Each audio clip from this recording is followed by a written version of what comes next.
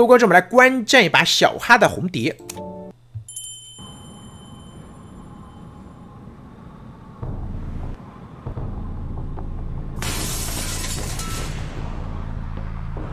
囚徒作曲家，哟，阿策打作曲家了。杂技前锋，这个阵容修机很快呀。这个阵容红蝶就是怎么说呢？正常时间抓人，交出闪现击倒一个人。前锋如果说能打一波，一波加速，这个局就没，红蝶就没。这个局红蝶的一个。赢面在于前锋过来打架，他抓到机会啊，打一个双倒什么的。要不然这个局如果求者这边选择一个卖掉的方式打，追过来第一刀有了，漂亮。选择一个比如说就正常救，救完以后不管，放弃第一个人，然后去拖密码机，去抢密码机，去保平的话呢，我觉得红蝶其实很难赢的，因为这时候修机速度够快。前锋这边的话，还是跟囚徒一起连上的机子。这样的话，作曲家，我甚至觉得前锋，哦，当然最好是这边闪现逼掉啊，闪现先逼掉。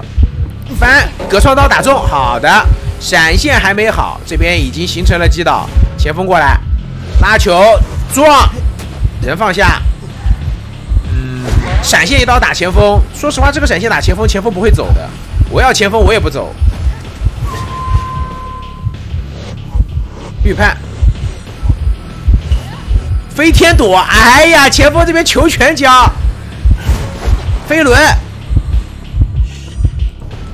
完了，完了，这波打完 血逼了，好吧，这也是前锋啊，就前锋嘛，你看对吧？胜也前锋，败可能也败在前锋，就是打出来了呢就秀起来，没打出来吧。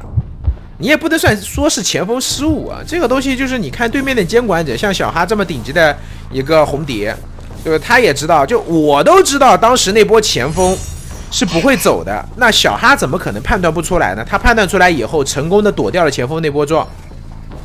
但是你看前锋的操作，其实前锋的操作是在线的，并且他也没有吃第二刀，对不对？飞轮交出来以后走了的，所以我觉得这局。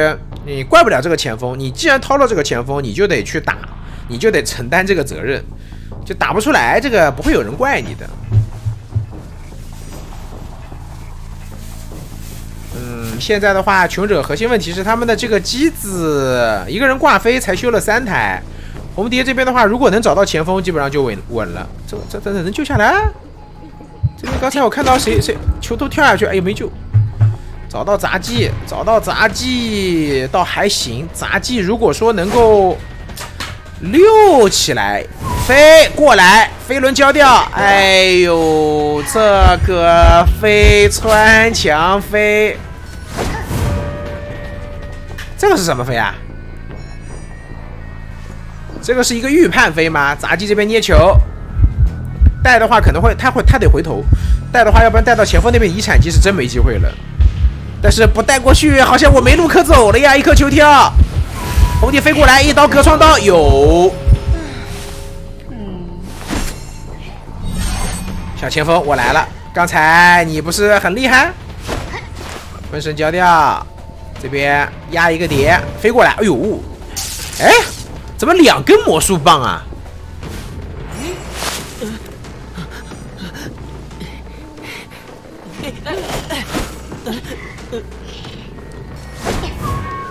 囚徒这边过来捞一波人，前锋这边面对一个有闪现的红蝶，闪现打一刀。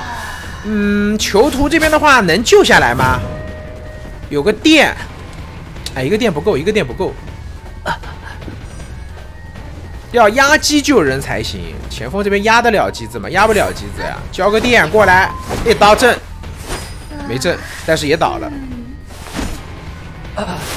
挂上吧，挂上最稳啊，挂上最稳。嗯可以了，大家可以看到，这种高分段或者顶峰分段的一个对抗，说实话，求者大家可以看到，在前锋第一波救人这么崩的一个情况下啊，其实他们也差不多快打出一个开门战了。这波人摇下来，但是前锋并没有去捞人，而是反手走了。他是觉得捞不下来了吧？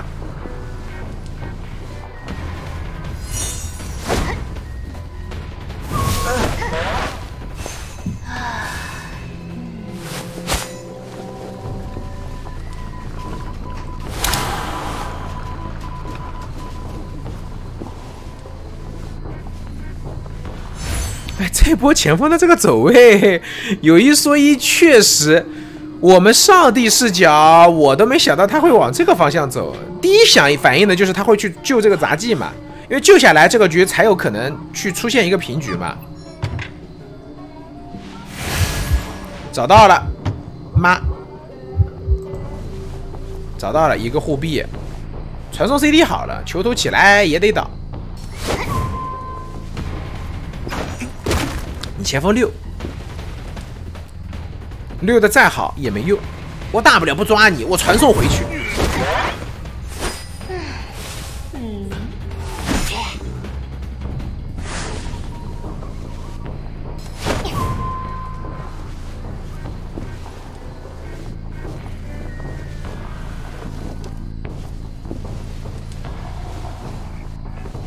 投降了，不玩了。